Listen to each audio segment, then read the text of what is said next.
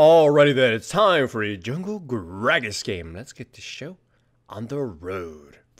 So, there is no champion in League of Legends that better personifies me in a video game form than Gragas. And I mean in, you know, being fat. Anyways, something about Gragas makes me kind of sad. It's off topic to this game, actually, but, you know, aside from maybe Kled and the sort of weirdness about him, I don't think Riot will ever release another champion like Gragas, and I don't mean that the releases they've been making are uninspired or not particularly that funny or something, but look at Gragas. He is the goofy, one of the, probably, I'm going to just say, the goofiest champion League has ever released. More goofier than Zoe, Kled, or Gnar. It's a fat, I'm going to call it a giant dwarf, I guess.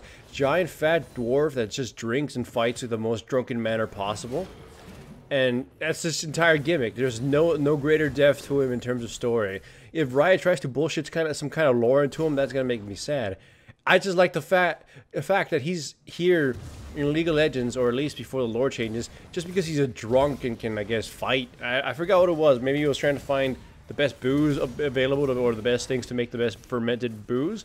But it's just funny to look at and imagine. And I don't think Riot's going to make another champion like him for a lot of reasons. Some of the reasons being, you know, that alcohol in some regions of the scene is a really bad thing. So, whatever. I remember them. I don't know if they actually went through it because I didn't bother reading it as much lore anymore after a certain point. But I do remember they went ahead and mentioned that he doesn't drink booze anymore. That he drinks like juice. And I guess it was because they were trying to localize it for other uh, regions. I think maybe in those regions it is just, you know, juice rather than alcohol, but whatever. Anyways, you can see this game starting off a little bit hectic with a lot of early skirmishes and, you know, surprisingly a lot of that whole little fight between those three of us, three versus three, they didn't end in more kills until Aatrox sort of stumbled onto the enemy Ryze. Anyways, in terms of team composition, I believe my team has the advantage here. Of course, the enemy team does have you know, the potential to kill someone important on my team, like uh, Jinx if the, the Nocturne throws himself in properly. But at the same time, my team is pretty beefy in the front line, and we have somebody who can follow up with the Yasuo, multiple means of activating Yasuo's ultimate, and pretty high damage. Even, you know, barring the fact that I'm going to be a little bit more tankier. I get Gragas in a very good ultimate here, and just immediately destroy him, getting, down the, getting the shutdown gold. Thankfully, the Brand was the one getting the kills at bottom lane, so the Jhin is going to be a little bit weaker. Unfortunately, the Jinx is pretty behind in terms of CS, so... Aatrox using his ultimate manages to get a, get kind of far to his uh, turret before he ends up dying, or I mean mid turrets.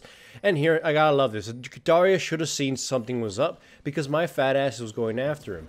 Like I'm here just keeping him uh, controlled a little bit. Maybe he thought I was gonna commit fully until I die, but nah, I was just keeping him in place where Yasuo get in range to destroy him. So we pick up a pretty easy kill on him. We get chased by the Nocturne and the Ryze, but know, they, they don't catch us. So it was a pretty good kill on the Darius, mostly because he kind of fell for the mind games or the trick or whatever.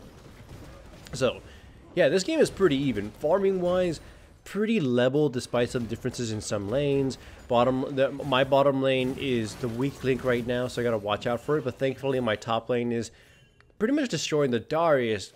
Uh, aside from the very beginning of the game, of course, there's a little bit more spots here. But yeah, my bottom lane needs help, and you can't see the chat. They're demanding it. They're demanding it. They're asking for it. But there's not much I can do if they don't have it awarded or if they're kind of in odd positions. I mean, I'll eventually scamper down there and do some things, but, you know, you can only ever do so much as a jungler. So yeah, the enemy team is basically camping down bottom lane. Uh, I'm taking mid, taking the CS, leaving these two down their bottom. They can't tur really turret dive them because they're pretty dangerous to turret dive, so that's pretty good for me. My build this game is going to be going with the... Uh, it's going to be a little bit weird.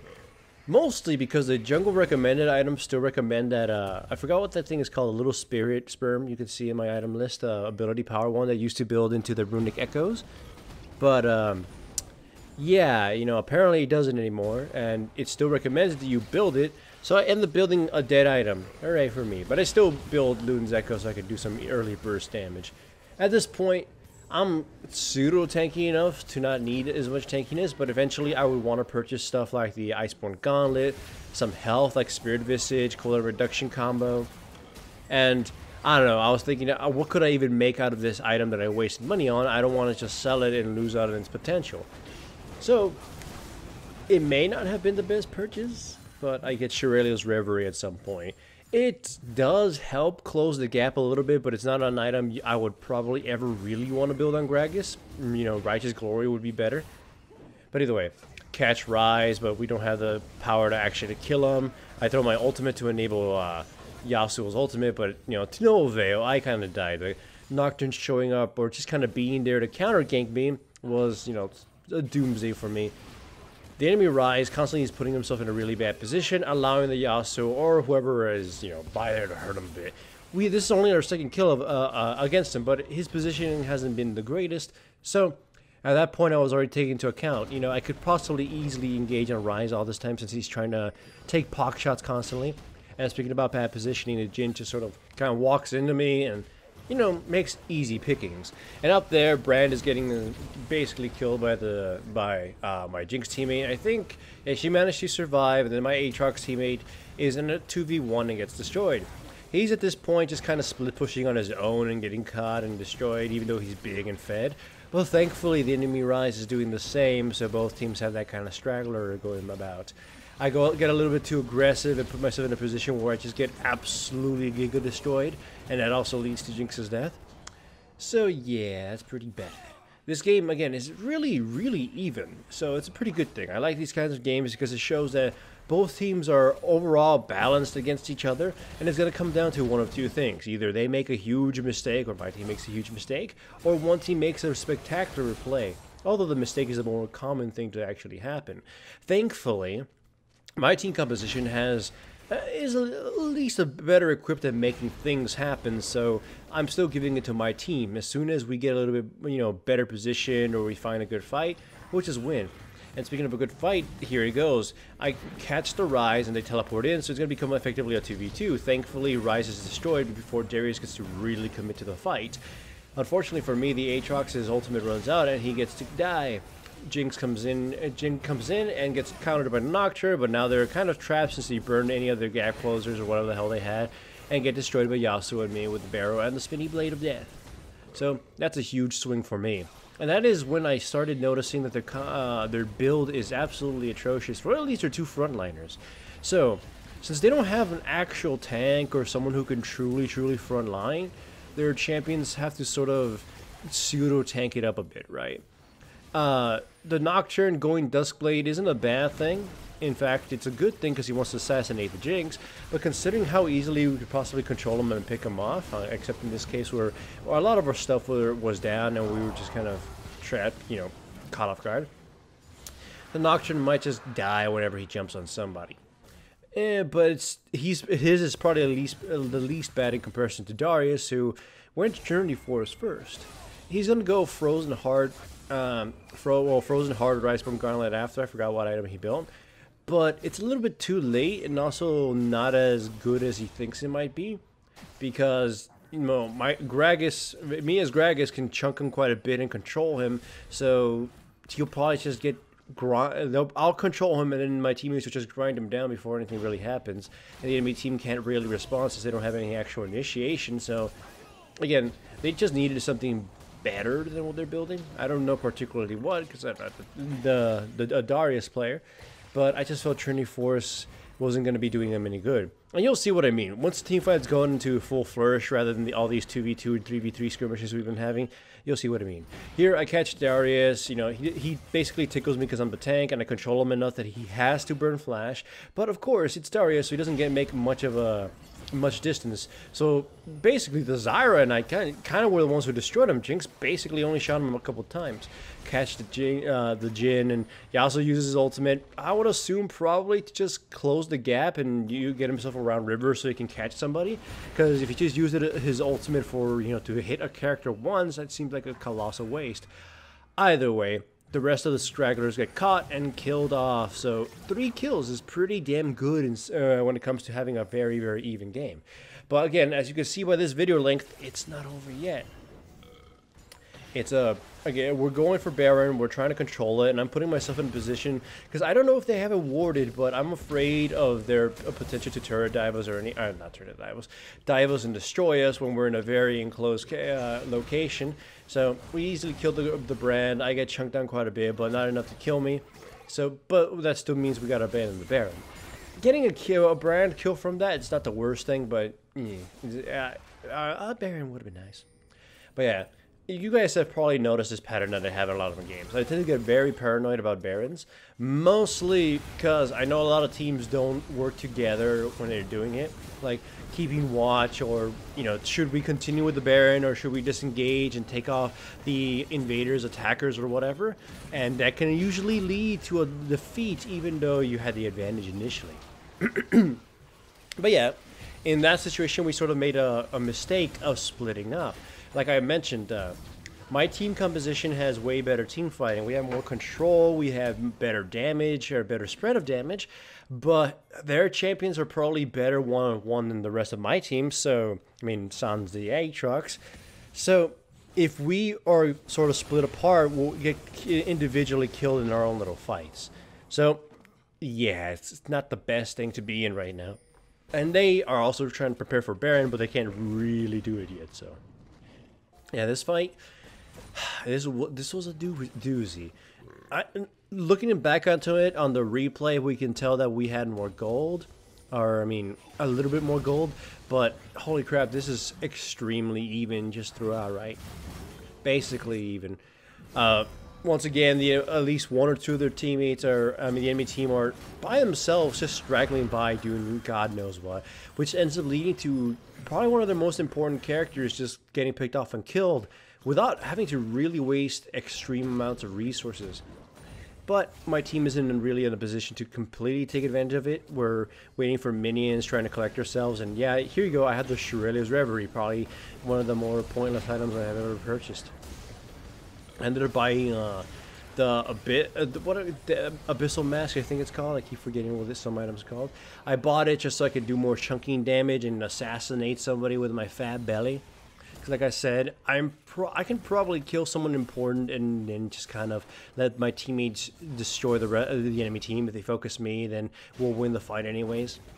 But at this point, my, once my team is getting more itemized, you can see people are finally finishing off uh, their primal core items, as uh, some would put it.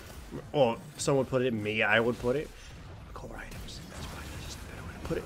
As most people are finishing off their core items, we're winning most team fights, except in this case where you know, is once again fought with a ill-prepared team comp. Team comp. We weren't all there. Thankfully, the Aatrox is ridiculously big, so he survives long enough to chunk down the enemy team quite a bit. And I finish off the brand, and the Darius eventually dies, and then we give chase against the enemy Ryze, who again is basically Speedy Gonzalez, but he eventually does get caught and destroyed, so hooray for us. Nocturne jumps me, dices and slices, and destroys me too. So you know, it was a defeat for the enemy team, but it wasn't as big of a defeat as it might look. Technically, I would say it was even. So this game is still, still very much on par. It's anyone's game. Who would win? Nocturne got caught and chunked down a bit. Then the enemy Darius teleports in probably one of the worst spots because his team is nowhere really near him to fully help him.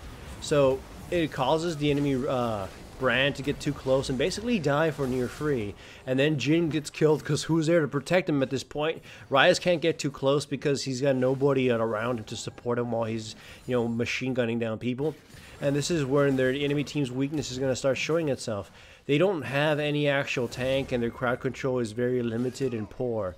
So the second one of them gets sprung on and destroyed, or if the Darius is nowhere near there to collect as much aggro as he's collecting, then the rest of them will just kind of fall over. So that's kind of just gonna spell the doom for them. I'm really big, and or at least big for what I want to do as a tank. Throw myself in there, do some damage, and not die immediately to four full rotation. Or uh, better yet, absorb before rotation. Better way to put it there. Here, they burn a lot to try to destroy me, and I don't die. I, I survive with like a very little amount of health, but it allows my team to just kind of absolutely destroy them. They've burned way too much, and they caught a straggler Nocturne, and they catch the Darius, and then they just give a chase for the remaining survivors. Eh. That one doesn't go really anywhere because they're going for the tower instead. But you catch my drift. I'm tanky enough to at least survive on near full rotation of the enemy team, but that is a very punishing thing for the enemy team to ever do, unless I'm by myself, of course. And with that, we take an inhibitor, the first inhibitor of the game for us, which will basically snowball the rest of the game. And you can see I caught the Jhin by himself. I don't know what he was trying to do, but at that point he should have recalled, but he was scampering about and getting himself killed. Nocturne kills the a lowly Zyra, and you know he almost gets destroyed by her plants, and then he die, does get destroyed by the plants. Yasuo goes in to kill the uh, the Ryze, doesn't kill him fast enough, and I chase after him, throw my barrow, and then Yasuo is just in time to hit him with his ultimate and finish him off. So we turned the tide that was turning against us, the reverse tide turner. It's like a laundromat, spinning one way and then spinning the other way and we catch the Darius, who at this point has no survivability to, or enough survivability, does not have enough survivability to survive even half a rotation. Their front line has effectively crumbled, even when it was barely uh, existing, and that has allowed us to just kind of seal the deal, getting another inhibitor. The game's not truly over yet, but essentially it kind of is. It's, you know, it's one of those things where if unless we do something extremely stupid, we shouldn't lose any further team fights we have secured a grisly advantage against them. Ah. Anyways, catch a dragon again. Three dragons to one. Again, that was probably one of the bigger markers of uh, the huge lead we had. Item, everyone basically has full item builds, maybe not one completed, one left, and that's kind of it the enemy team was trying to go for a desperate, desperate Baron. You know, that's kind of their only chance. But they left Brand by his lonesome and he got destroyed. I throw my ultimate in there to get Yasuo his ultimate, who he immediately, alongside the Jinx, slaughters basically everybody. And then the, the Nocturne gets destroyed with Yasuo. And then we catch the Darius. And that's just kind of it. It was a desperate attempt for them at the end, and I mean, honestly, something that makes sense to do, but it it was a it sealed the deal. And if you liked this video, remember to give it a like. And if you aren't subscribed, make sure to subscribe. And if you are subscribed, make sure to hit the little bell up there somewhere so you actually get notifications to my videos because YouTube and stuff.